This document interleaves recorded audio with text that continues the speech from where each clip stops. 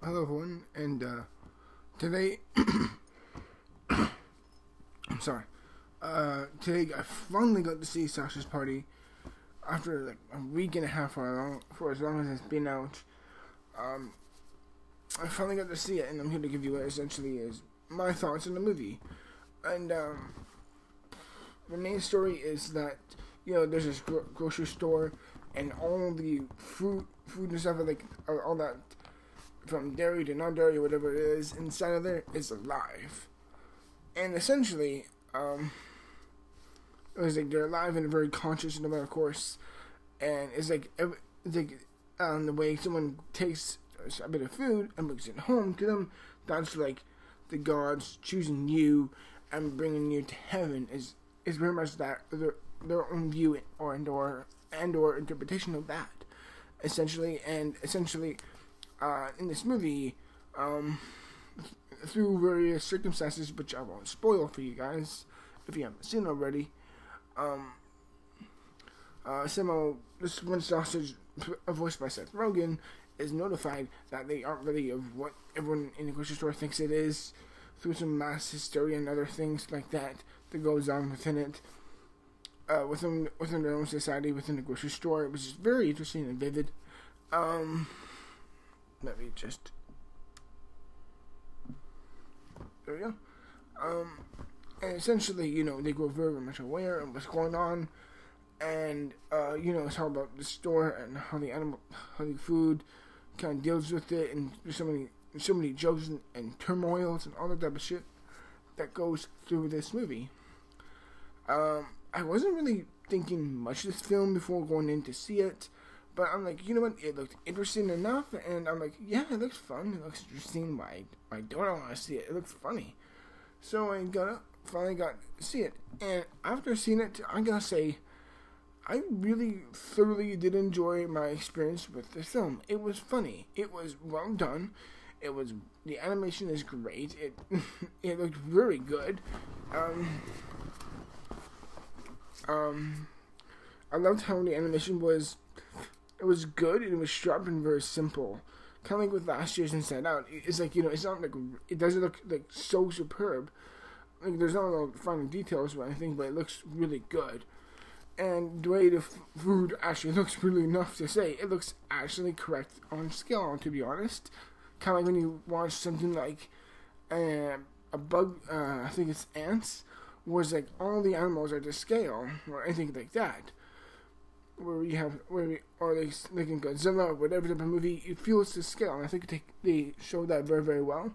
Um, the animation is great. The voice acting is great as always. Like you got this is the same guys who bust. This is the end. Pineapple Express and so many so many so much other material. I mean, voice actors like like Seth Rogen, James Franco, Jonah Hill, Kristen Wiig, Salma Hayek. Um, um, Michael Cera, Paul Rudd, Edward Norton, Conrad Vernon, Danny McBride, Bill Hader, so many voice actors. Oh yeah, uh, um, Nick uh, Nick Kroll and Craig Robinson, a bunch of these other big voice um, people within comedy, and they all really do play their roles well.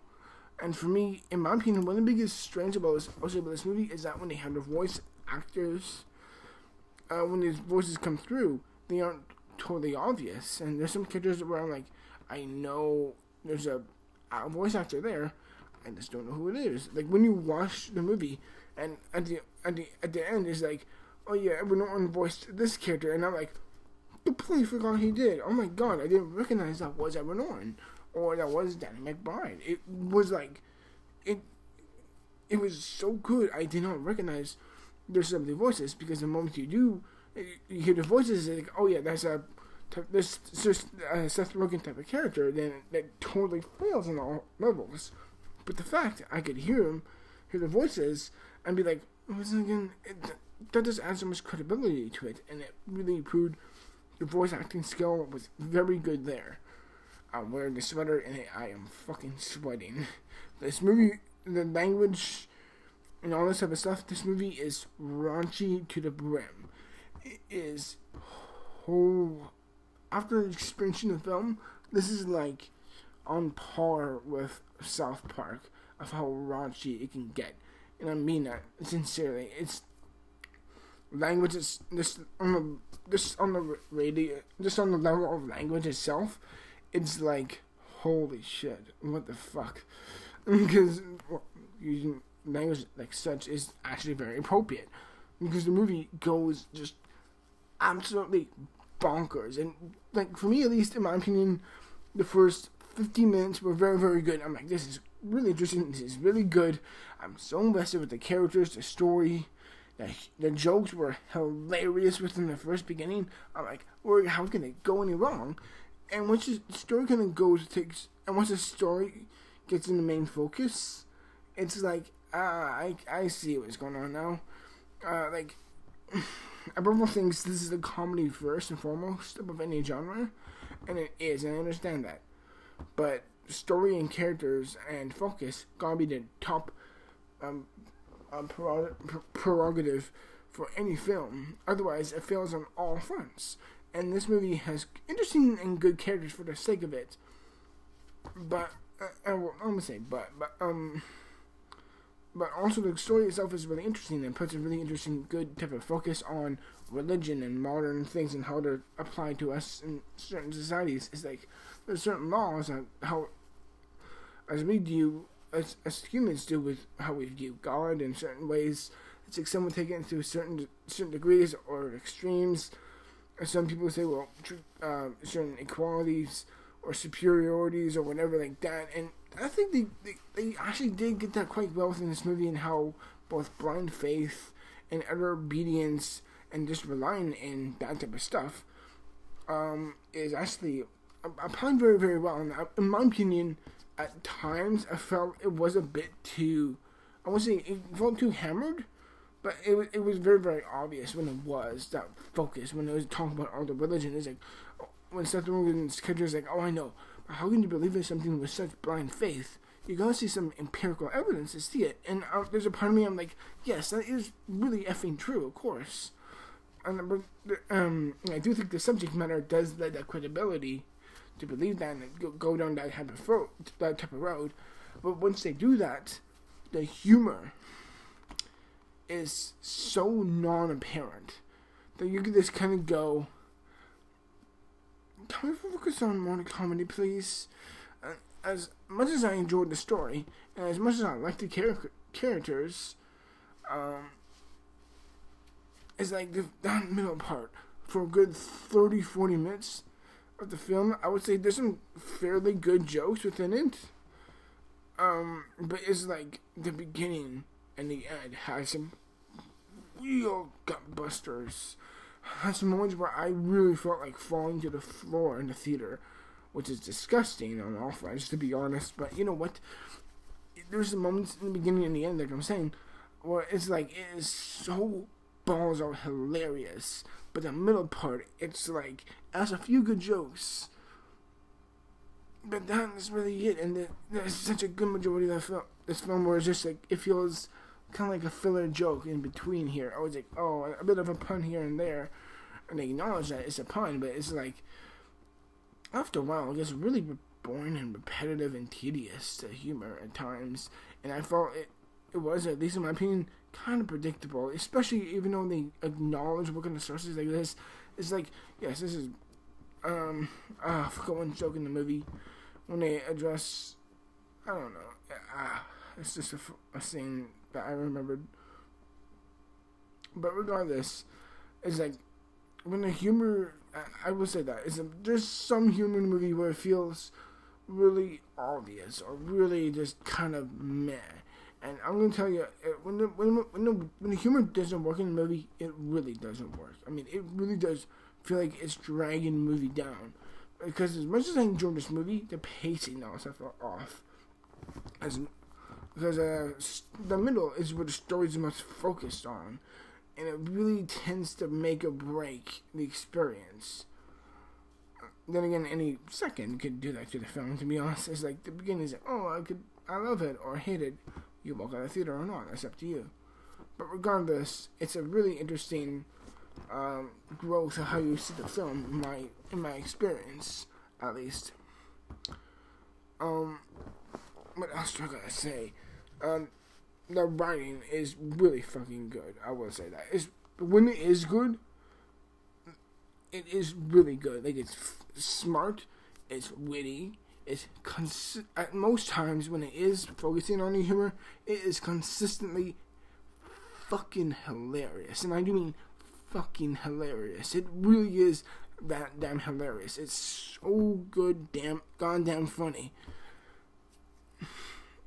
Um, um, and overall, it just really felt like a really good, fun experience.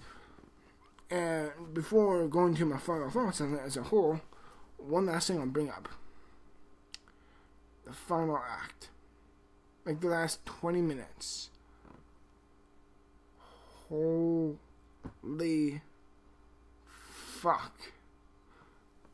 And I mean, holy fuck, quite literally, because it is a holy fuck of a scene.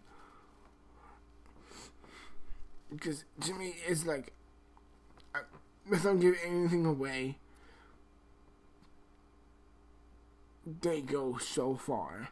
And it had me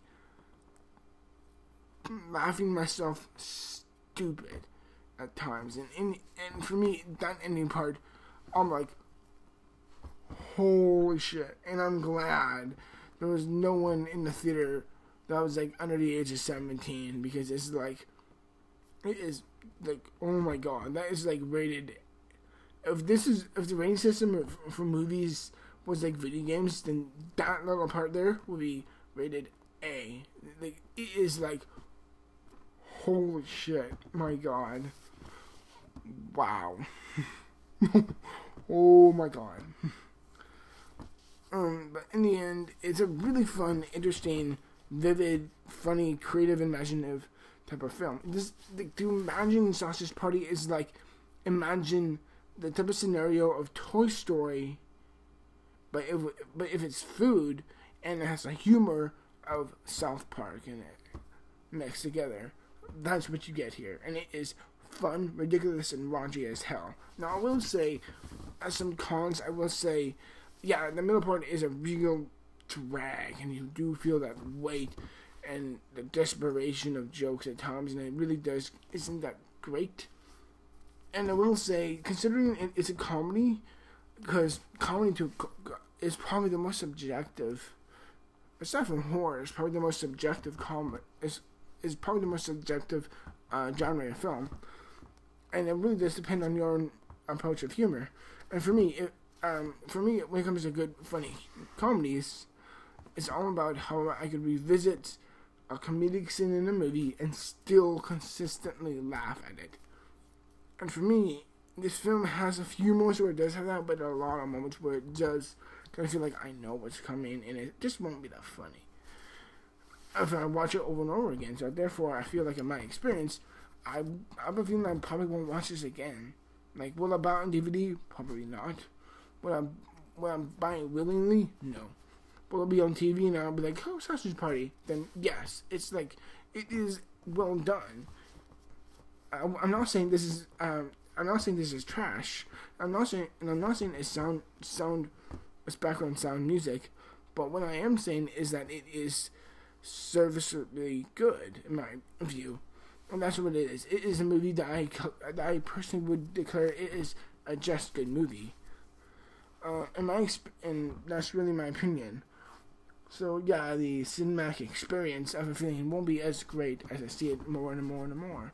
But in the end, I still really did enjoy Sausage Party, and I would give Sausage Party. Ooh, this is a rating. I'm really thinking of now. Hmm. I need some time to think about it. But you know what? As of right now, I don't know if it will change or not. But I'm gonna give Sausage Party um, an 81%. That's my final rating, everyone. I really do hope you enjoy it. And stick around for some more reviews, as always, everyone, for in the future. And uh, yeah, uh, see you until then, everyone. Thank you very much for watching. I'll see you in the future for more videos, as always. Till then. See ya.